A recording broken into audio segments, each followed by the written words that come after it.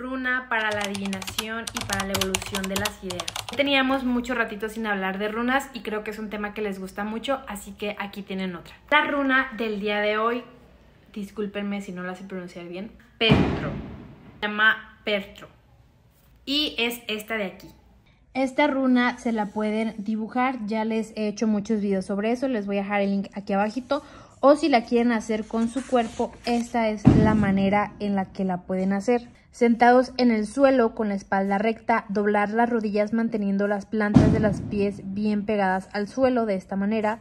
Apoyar los codos en las rodillas con los antebrazos inclinados hacia arriba, mirar hacia el oeste. Las runas son muy poderosas y creo que esta es una muy buena manera de hacerla porque además de dibujarla, literalmente tu cuerpo está haciendo una runa entonces también les recomiendo que intenten esto.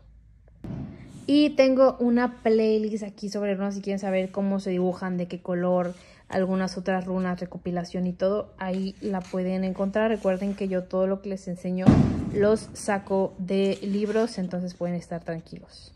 También les recuerdo que tengo Instagram, hay que ser amigos por ahí, subo cositas muy padres, espiritualidad, desarrollo personal, chismecito, tips de niñas y muchas otras cosas más, así que te espero por allá. Un abrazo de luz y mucha buena vibra. Bye.